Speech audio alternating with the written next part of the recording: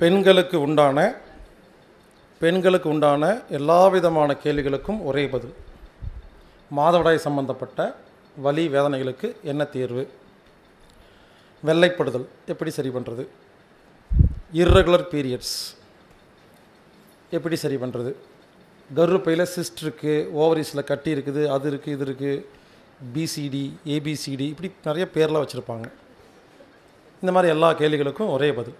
குழந்தை இன்மை கர்ப்பை சுருங்கிருச்சு கீழே இறங்கி இது மாதிரி இங்கே பாருங்கள் ஏன் சொல்கிறேன்னா சில பேர் நான் கேள்வி பதில் சொல்லி முடிச்ச புதுசாக ஒரு கேள்வியோடு வருவாங்க.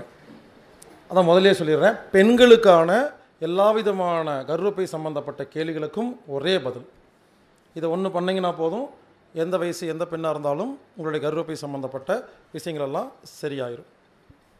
முதல் விஷயம் பெண்கள் தலை சீவும் பொழுது நடு நிறத்தா சீவணும். நடு நேர். உச்சி வகுடு. இந்த நடு நேருக்கு பேர் சீமந்த ரேகைன்னு பேர். அந்த காலத்தில் கிராமத்தில் பாட்டியெல்லாம் கேட்டு பாருங்கள் யாராவது கர்ப்பம் ஆயிட்டாங்கன்னா முள்ளமன்றிய முள் எடுத்து இங்கே கீறி விட்டுருவாங்களாமா. முள்ளமன்றி முள்ளில் நடு மண்டையில் கீறி விட்டுட்டா கர்வப்பை ஆரோக்கியமாயிருமாமா. கண்டுபிடிச்சாங்க நம்ம தாத்தா பாட்டி. செஞ்சிட்டு இருந்தாங்க. அதுக்கப்புறம் தான் என்னாச்சு? அந்த முள்ளமன்றியெல்லாம் தேட வேண்டிய அவசியம் இல்லைன்னு சொல்லி சீப்பு வச்சு சீவ ஆரம்பிச்சிட்டோம். முள்ளமன்றி முள்ளெல்லாம் தேட வேண்டாம். தினமும் நடு நேர் எடுத்து உச்சி வகுடெடுத்து தலை சீவும் பொழுது கர்வப்பை ஆரோக்கியமாக இருக்கிறது. அதனால் இனிமேல் பெண்கள் நடுநீர் எடுத்து உச்சி வகடு எடுத்து வாழ்கிறது ரொம்ப ரொம்ப நல்லது. ஆனால் இப்போ என்ன பண்ணுறோம் ஒரிஞ்சு எடுத்து இப்படி இப்படி அப்படி சில பேர். நீதானே பொன் வசந்த சமந்தான் நினைப்பு மனசில். சில பேர் இப்படி போய் அப்படி போய் அப்படி போய் இப்படி போயிடும் கூகுள் மேப்பே இருக்கும் மண்டையில். சில பேர் விரிச்சு போட்டு பேய் மாதிரி சுத்த வேண்டியது. புரிஞ்சுக்க அது வரலாம் இல்லாமல் இனிமேல் முடிஞ்ச வரைக்கும் நடுநேர் எடுத்து செய்யும் பொழுது பெண்களுக்கு ஆரோக்கியம். இது ஒரு பாயிண்ட் ரெண்டாவது பெண்கள் கால் மேலே கால் போட்டு உட்காரவே கூடாது. ஏன் தெரியுங்களா? கால் மேலே கால் போட்டு உட்காரும் பொழுது கர்வப்பை அமுங்குது. ரத்த ஓட்டம் ஒழுங்காக போகிறதில்ல அப்போ அந்த மாதிரி பெண்களுக்கு கர்ப்பப்பையில் சில அசௌகரியம் அசௌகரியம் வர்றதுக்கு வாய்ப்பு இருக்குது பத்மாசனம் உட்காரலாங்க. கால் மேலே கால் போட்டு ஸ்டைலாக உட்காரக்கூடாது. அதனால தான் கிராமத்தில் என்ன சொல்லுவாங்க ஏ பெண்கள் இந்த மாதிரிலாம் உட்காரக்கூடாது அப்படின்னு சொல்லுவாங்க. அது பெண்கள் அப்படிங்கிற மரியாதை குறைவு அப்படியெல்லாம் கிடையாது. பெண்களுக்கு தான் கர்வப்பை இருக்குது குழந்தை பெற்றுக்கிறனால. அதனால் அது வேண்டாம்னு சொல்லியிருக்கிறாங்க. இனிமேல் பெண்கள் தயவுசெய்து கால் மேலே கால் போட்டு உட்காராதீங்க. சரி சில பேர் கேட்குறாங்க அப்போ ஆண்கள் உட்காரலாமா? உட்காரலாம். ஆண்மை குறை வரும். அமுங்கு ரத்த ஓட்டம் போகாது. ஸோ ஆணும் சரி பெண்ணும் சரி கால் மேலே கால் போட்டு உட்காரக்கூடாது. அது வந்து உடம்புக்கு ஆரோக்கியம் இல்லாத ஒரு பழக்கம். அடுத்தது காலை பின்னி உட்காரக்கூடாது படுக்கக்கூடாது. இந்த காலை பின்னி படுத்து தூங்குவாங்க இல்லைங்களா? அப்போது கர்ப்பப்பை ஆரோக்கியம் கெட்டு போகுதாமா? ஸோ பெண்கள் குறிப்பாக படுக்கும் பொழுது நைட்டு காலை பின்னி படுக்கக்கூடாது. அது ஏன் அந்த பழக்கம் வருதுன்னு கேட்டிங்கன்னா குழந்தை பெற்றுக்கிட்ட உடனே உடனே காலை பின்னி படுங்கன்னு சொல்லி கொடுப்பாங்க. காற்று உள்ளே போகாமல் இருக்கிறக்காக முதல்ல ஒரு ஒரு ரெண்டு மூணு மாதத்துக்கு இவங்க என்ன பண்ணுறாங்க அந்த பழக்கம் வந்தோடனே அதை அப்படியே கண்டினியூ பண்ண ஆரம்பிச்சிருவாங்க பல பேர். அந்த காலை பின்னி படுக்கிறது நல்லதில்லை. அதனால் அது அந்த மாதிரி யாராவது இருந்ததுன்னா அவாய்ட் பண்ணிடுங்க அடுத்தது கிழக்கு மேற்கு நோக்கி உட்கார்ந்து மலம் கழிக்கக்கூடாது. குடும்பம் நடத்தக்கூடாது. யூரின் போகக்கூடாது. புரிஞ்சுக்கங்க? இந்த கிழக்கு மேற்கு இருக்கு இல்லையா? அது அதில் வந்து சூரிய கதிர்கள் நேரடியாக போயிட்டு வந்துருக்கும். பெண்கள் இந்த மலம் கழிக்கும் பொழுது யூரின் போகும் பொழுது குடும்பம் நடத்தும் போது மட்டும்தான் சூரிய கதிர்கள் உள்ளே போகிறதுக்கு வாய்ப்பு இருக்குது அப்போது கிழக்கு மேற்கு நோக்கி வந்து மலம் கழிக்கும் போது யூரின் போகும்போது குடும்பம் நடத்தும் பொழுது ஒரு வேளை சூரிய கதிர்கள் உள்ளே பூந்துருச்சுன்னா கருப்பை பாதிச்சுட்டே இருக்குமாமா? இதை கண்டுபிடிச்சு என்ன பண்ணிட்டாங்க? வாஸ்து பிரகாரம் உலகத்தில் கிழக்கு மேற்கு நோக்கி மலம் கழிக்கிற மாதிரி லெட்டின் கட்டவே மாட்டாங்க. ஒருத்தர் கட்டினார்னா வாஸ்து தெரிலன்னு அர்த்தம். அந்த காலத்தில் பழைய இதிகாசங்கள்லாம் பார்த்தீங்கன்னா சில டயலாக் இருக்கும். நான் என்ன கிழக்கு மேற்கு நோக்கி மலம் கழிக்கும் மடை நின்று நினைத்தாயா? அப்படின்னு வசனமெல்லாம் வருமாமா. அந்த காலத்தில் கிழக்கு மேற்கு நோக்கி மலம் கழிச்சா முட்டாளாமா மடையனாமா. அதனால் இனிமேல் இது வரைக்கும் விடுங்க இனிமேல் கிழக்கு மேற்கு நோக்கி உட்காந்து மலம் கழிக்க வேண்டாம். அது ஆணும் சரி பெண்ணும் சரி அது நல்லது இல்லைங்கிறது தான் நமது பழக்கம். ஸோ முடிஞ்ச வரைக்கும் கிழக்கு மேற்கு நோக்கி உட்காந்து மலம் போகாத மாதிரி. அதான் சொன்னாங்களே சூரிய கதிர்கள் நேரடியாக பெண்களோட உறுப்புக்குள்ளே போகும்போது அவங்களுக்கு கர்ப்பப்பை சம்மந்தப்பட்ட வியாதிகள் வருது. அப்படி இருக்கக்கூடாது. உடனே நீங்கள்லாம் யோசிக்கிறீங்க எங்கள் வீடு வாடகை வீடு அது கிழக்கு மேற்கு நோக்கி தான் இருக்குது நான் என்ன பண்ணுறதுன்னு கேட்டால் வீடை மாற்ற வேண்டாம் லெட்டின் இடிக்கலாம் வேண்டாம் நான் ஒரு ஐடியா சொல்கிறேன் சிம்பிளாக திரும்பி உட்காந்துக்குங்க ஸ்மார்ட்டாக யோசிங்க. நம்ம உட்கார்றதானே இப்போது அது எப்படி இருக்குங்கிறது நான் கேட்கல இல்லை. கட்டை கிட்டை போட்டு அப்படியே சுற்றிக்கிது திரும்பி உட்காந்துக்குங்க அவ்வளோதான்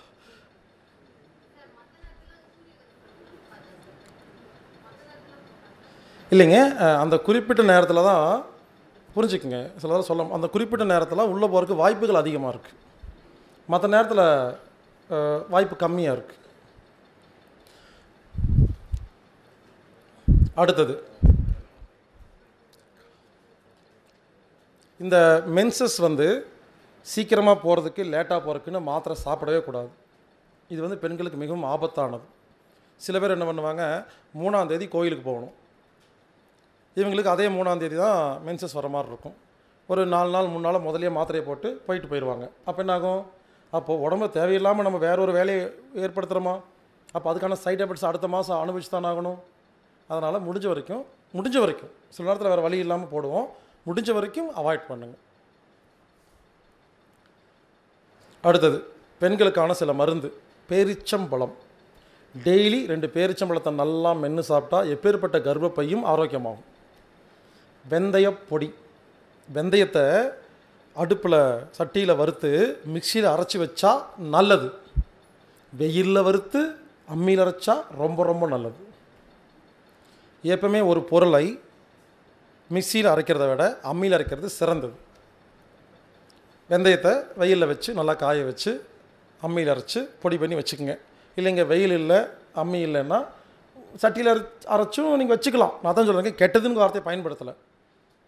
இனிமேல் நல்லது அதை விட நல்லது அதை விட நல்லது. அப்படி தான் பேசணும் கெட்டதுன்னா பயம் வந்துடுது ஸோ வெந்தய பொடியை டெய்லி இங்கே பாருங்கள் நிறையா சாப்பிட்றாதீங்க வெந்தய பொடி வந்து குளிர்ச்சி. ஓவராக சாப்பிடவும் கூடாது. கொஞ்சமாக எடுத்துக்கோங்க மருந்து. தேங்காய் பால். தேங்காவை பூ எடுத்து புழிஞ்சு தண்ணி ஊற்றி பால் எடுத்து டெய்லி ஒரு அரை டம்ளர் கால் டம்ளர் ஒரு டம்ளர் கொஞ்சமாக சாப்பிட்டு பாருங்கள் தேங்காய் பால் பெண்களுக்கான கர்ப்பப்பை சம்மந்தப்பட்ட மருந்து. பனம் கருப்பட்டி பாம் சுகர் பனை வெல்லம்னு சொல்லுவாங்க. இதுவும் மருந்து ஆனால் நிறைய சாப்பிடக்கூடாது. குறிப்பாக கர்ப்ப காலத்தில் நிறையா சாப்பிட்றாதீங்க அது அபாட் ஆகிரும் கர்ப்பம் களைஞ்சிடும் ரொம்ப சாப்பிடக்கூடாது. கொஞ்சமாக சாப்பிட்லாம். டெய்லி ஒரு சின்ன பீஸ் சாப்பிடுங்க மருந்து. ஒரே நாளில் ஒரு மொத்த ஒரு உருண் மண்டபத்தையும் மொத்தமாக சாப்பிட்டிங்கன்னா ஒருவேளை கர்ப்பமாக இருக்கிறவங்களுக்கு அது நல்லதில்லை.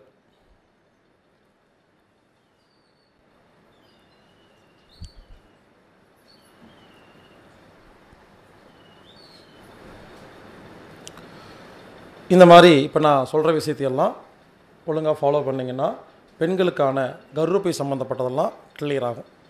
இன்னொரு முக்கியமான விஷயம் டைட்டாக ட்ரெஸ்ஸு போடக்கூடாது. பல பேர் இப்போல்லாம் பார்த்தீங்கன்னா ஜீன்ஸ் எல்லாம் போட்டு ரொம்ப டைட்டாக ட்ரெஸ் போட்டு எவ்வளவு டைட்டாக ட்ரெஸ் போடுறோமோ அவ்வளோ தூரம் பெண்களுக்கு அது நல்லதில்லை. அதனால் அதை கொஞ்சம் பார்த்துக்குங்க. இப்போ நான் சொன்ன மாதிரியெல்லாம் செஞ்சுட்டு வரும் பொழுது ஒரு பெண்ணுக்கு தேவையான கர்ப்பப்பை சம்பந்தப்பட்ட எல்லா விஷயங்களும் ஒழுங்காகும். நல்லா போகும். அடுத்தது பெண்களுக்கு குழந்தை இல்லை. அந்த மாதிரி இருக்கும் பொழுது என்ன செய்யலாம்? இதுக்கு நிறைய டெக்னிக் இருக்குது. ஒரு ரெண்டு டெக்னிக் சொல்கிறேன் வெத்தலை பாக்க கணவனுக்கு கொடுத்து ஹஸ்பண்டு வெத்தலை பாக்க வாயில் போட்டு லேசாக சுண்ணாம்பு போட்டு நல்லா மென்று முதல் முறை துப்பணும். இரண்டாவது முறை மென்று துப்பணும். மூன்றாவது முறை மென்று துப்பாமல் அந்த வெத்தலை பாக்க மனைவி கிட்ட கொடுத்துடணும். மனைவி வாயில் போட்டு மென்று அந்த சாரம் முழுங்கினா கர்ப்பையில் குழந்தை பாக்கியம் உண்டாகும். இது ஆயுர்வேதத்தில் சொல்லியிருக்கிறாங்க. நிறையா சித்தர்கள் சொல்லியிருக்கிறாங்க. நாகூர் ஆண்டவன்னு ஒருத்தர் இருக்கிறார் நாகூர் தர்கா.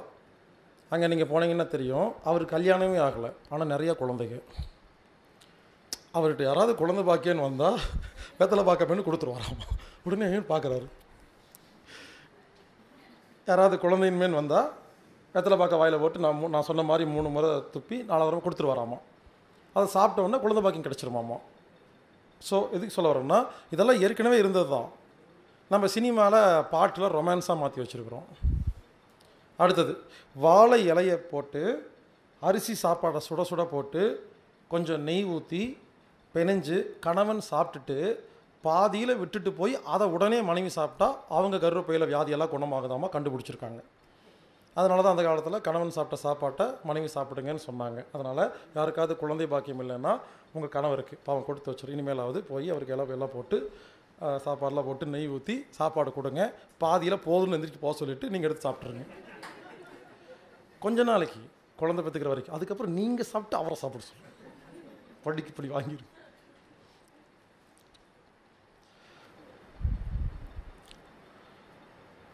அடுத்தது மென்சஸ் ஒரு எட்டு நாள் ஒம்பது நாள் பதினஞ்சு நாள் தொடர்ந்து போயிட்டே இருக்குது. உதிரப்போக்கு. நிற்கலை என்ன பண்ணுறதுன்னா இதுக்கு எங்கேயுமே வைத்தியம் இல்லைன்னு சொல்லுவாங்க.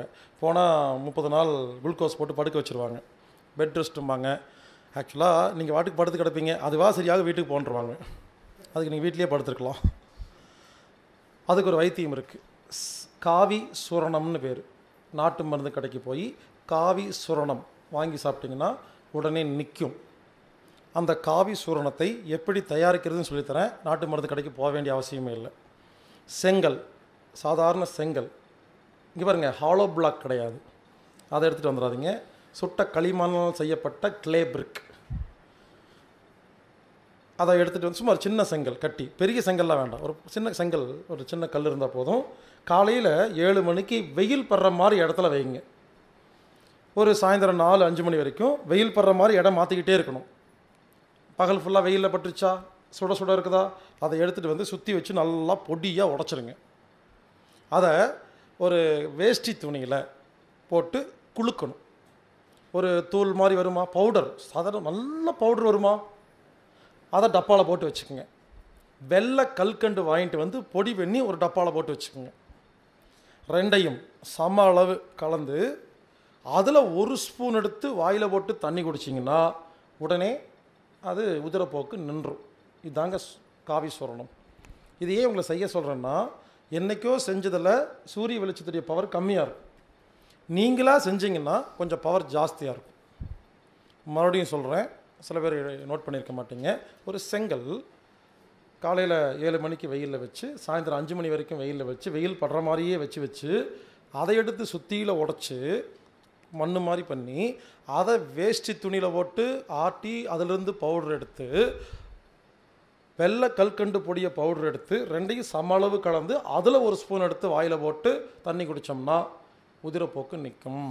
இங்கே பாருங்க உடனே மாச்சம் மாச்சம் பண்ணிகிட்டு இருக்கக்கூடாது இது ஒரு வைத்தியம்தான் இது தீர்வு கிடையாது. அப்போ என்ன அர்த்தம்? நீங்கள் ஒழுங்காக ஏதோ சரி பண்ணலன்னு அர்த்தம். அப்போ என்ன பண்ணணும்? இந்த மாதிரி உதிரப்போக்கு போகும்பொழுது இந்த மாதிரி காவிஸ்வரனை சாப்பிட்டு சரி பண்ணிவிட்டு அடுத்த மாதத்துலையாவது நம்ம டெக்னிக்கெல்லாம் ஃபாலோ பண்ணி இனிமேல் அந்த மாதிரி வராமல் பார்த்துக்கணும். அதான் டெக்னிக் தெரிஞ்சு போச்சேன்னு டப்பா டப்பா வச்சு டெய்லி சாப்பிட்றக்கூடாது இது வந்து சிகிச்சை.